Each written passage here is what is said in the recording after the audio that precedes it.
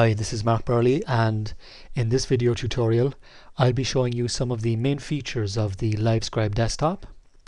This is the software that accompanies the LiveScribe Smart Pen.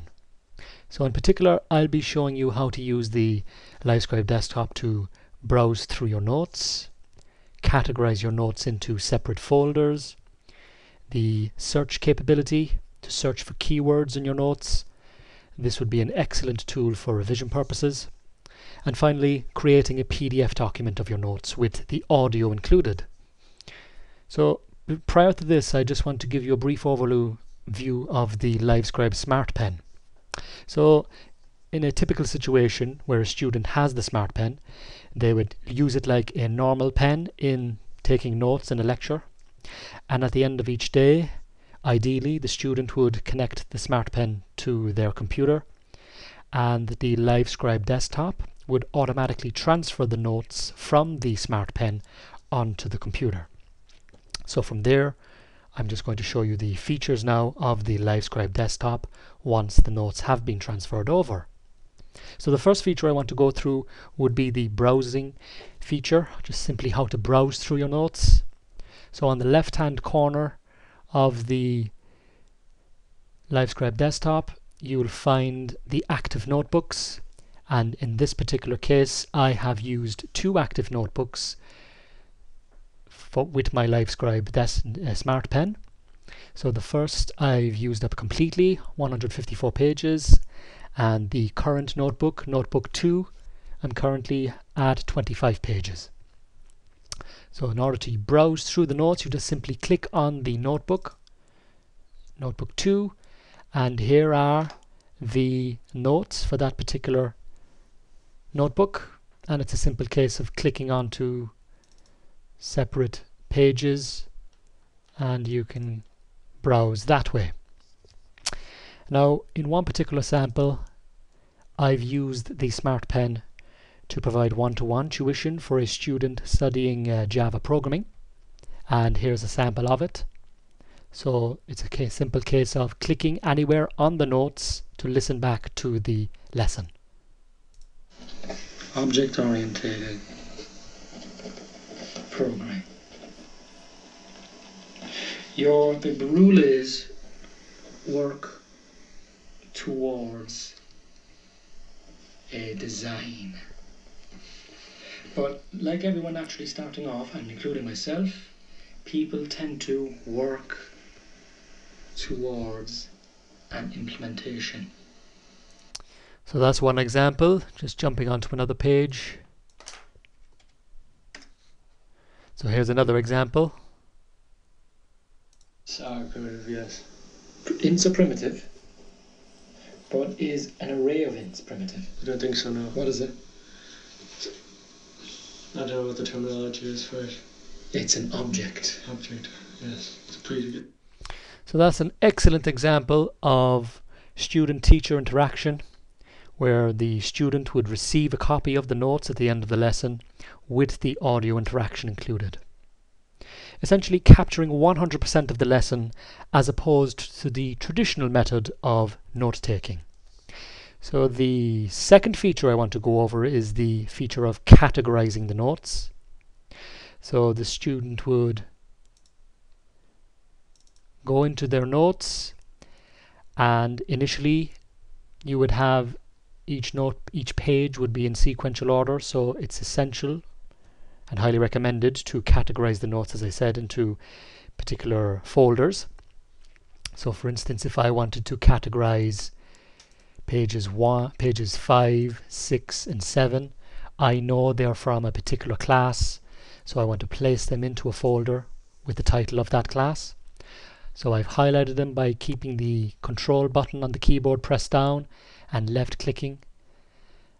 And then I simply right click and press the add to custom notebook button.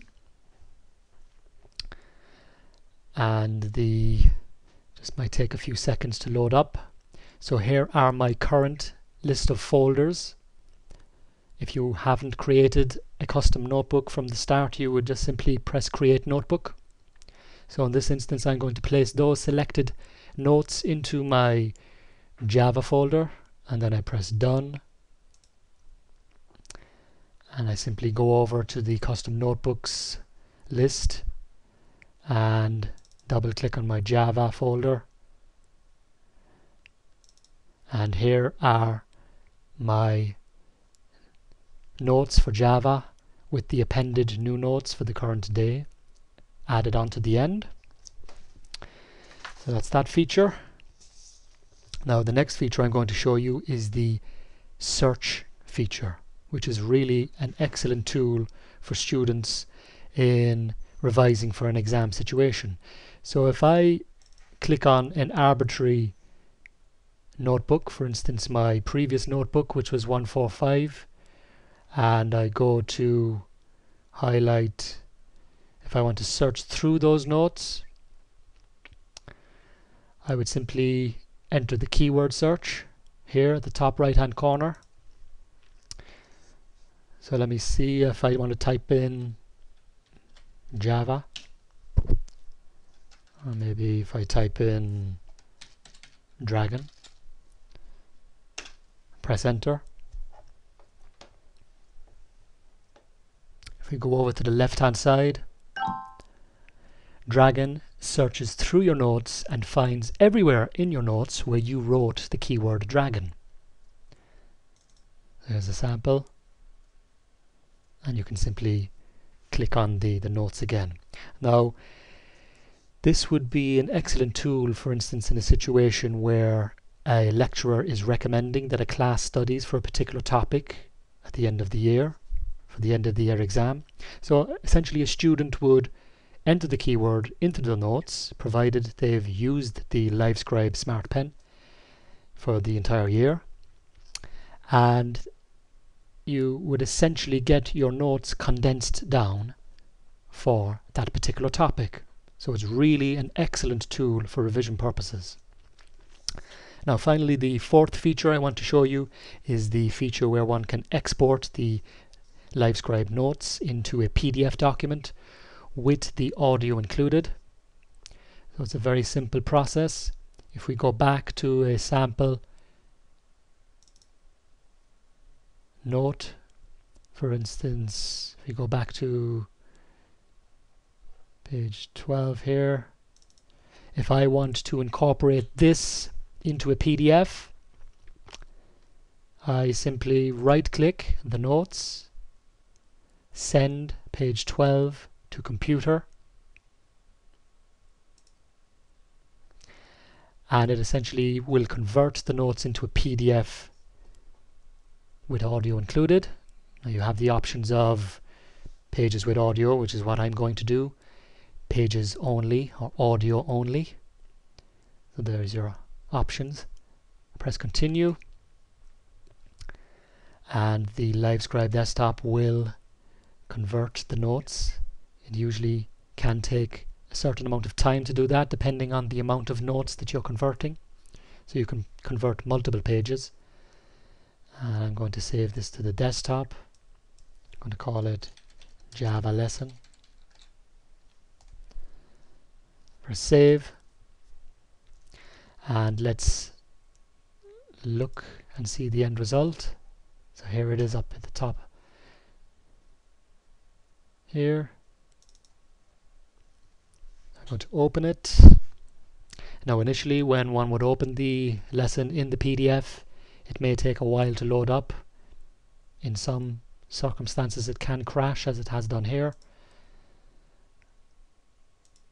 It's just important to open it again.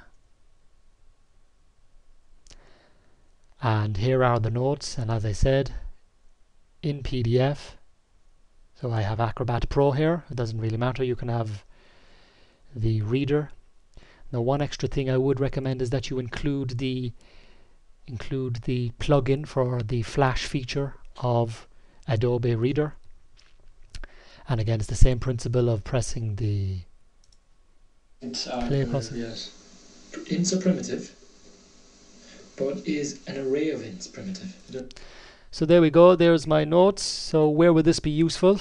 Well, it would be useful in a situation where a lecturer or a teacher is providing supplementary notes to a class. Let's consider a scenario where a teacher is finding a certain topic or subtopic that a class is finding difficult. So the student, the teacher could provide a PDF to the class and also in this particular situation the one-to-one tuition as I've demonstrated to you here. It's an excellent tool where at the end of the lesson the student can take away the notes with them with the audio included. So thank you for watching.